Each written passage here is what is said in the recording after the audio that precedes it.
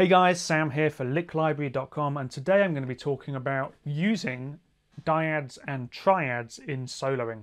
So what is a dyad and what is a triad? Well, let's start with a triad first because it makes a bit more sense to start there somehow.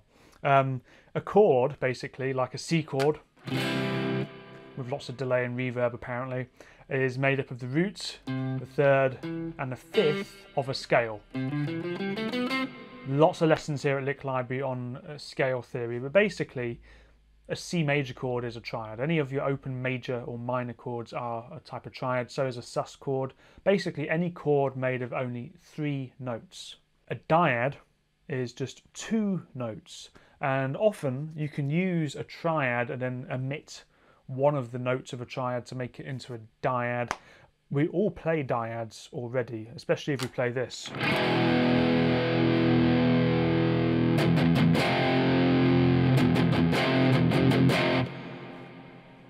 So that's just a two note chord, a power chord is root and the fifth, that's a dyad.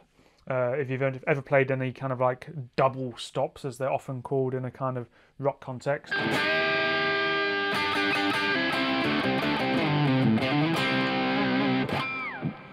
that kind of thing, that's a dyad, um, taking two notes. We can use these in soloing. So I've got a little loop on the go. It's just two chords, okay? It's just A sus2,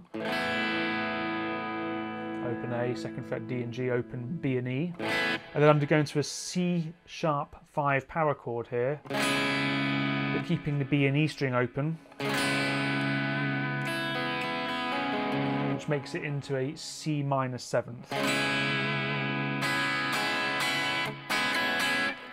Now, we're going to be using, first of all, I'll just improvise a bit and just use the triads for both of those chords. I'm going to find them in different positions. This is this is where the CAGED system becomes really useful. I'm pointing, that's very rude, but um, it's really important to know your CAGED system. It means you know your chords across your neck and you can use them in this way. So first of all, I need to map out the A chord across the neck. Might do um, this position, you've got this position, this position, this position, also borrows a bit this position. You've got this position, and this position, and this position, and this position. This is all just the CAGED system. For C sharp minor, you can do the same thing. So it gets a bit weird with the, some of the shapes, but you've got a kind of general map of where we can go. So I'm just visualizing those shapes and I've taken down to just three strings. So I could just take the top three strings of this chord of A and then the top three strings of this C sharp minor. Let's see how that sounds. So what I, what I do is I first play it just with the loop.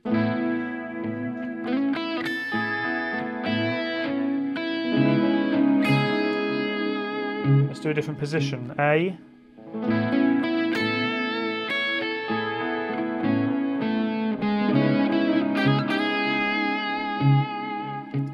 Now I can grab those as, as chords, just as parts of them.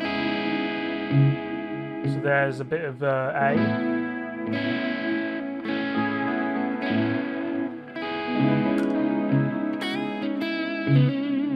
Okay, let's do a bit more.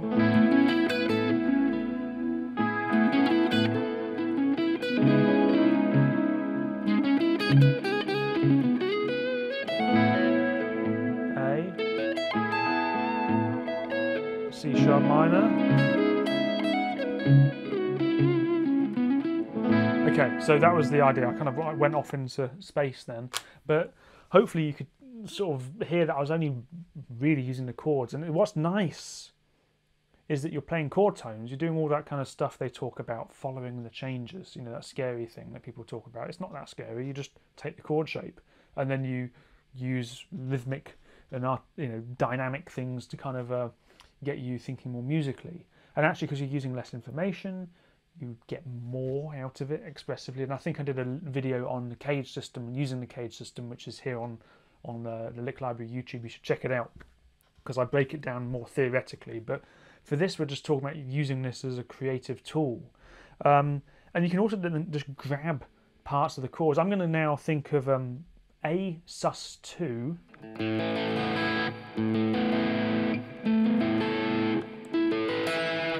going to use those, and I'm going to use um, C sus2 because I can use C sus2 instead of C minor, uh, C sharp sus2, sorry. Uh, and nines, and you can, you can, mix them together, the triad and, and the sus as well. And let's see how that goes. Okay, so C minor, C sharp minor.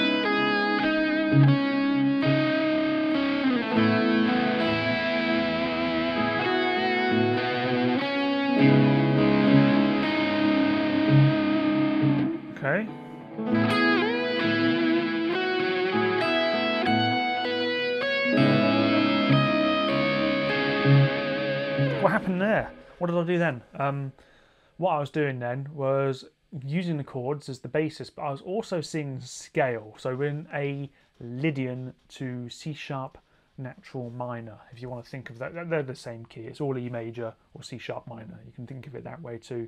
But I'm mapping out the scale, but rather than playing the scale like, you know, which is really cool, uh, I was seeing a little chord clusters, uh, dyad clusters. So seeing.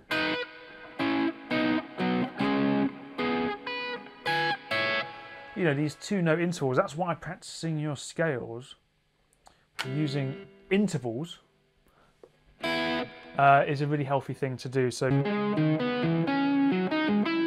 ah,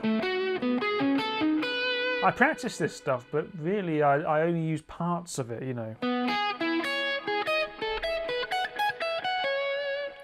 Breaks up the scale, so practice your intervallic sequences within your scale shapes.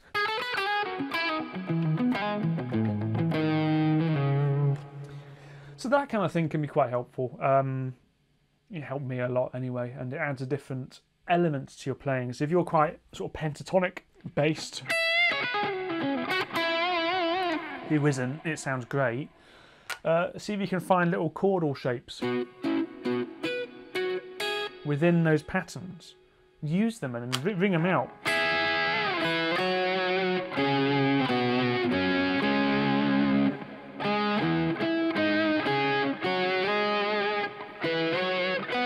Let's do that to actually some music.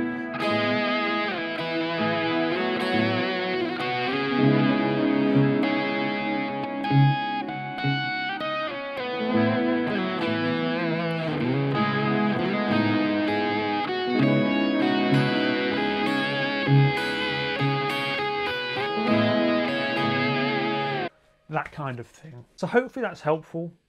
It's kind of maybe for some of you it's completely a new way of thinking. And if so that's awesome. And i really hope you try it out and uh, give it a go. And for some of us it's who know a bit of scale theory and chord shapes it's like well yeah that's obvious. But do we do it? And and when we do it it can unlock a new area of your playing. So please do give it a go and let us know what you think if you found some new licks that's great and uh, if it's made you think, oh, there's some things I need to practice in terms of scale patterns and things, then that's okay.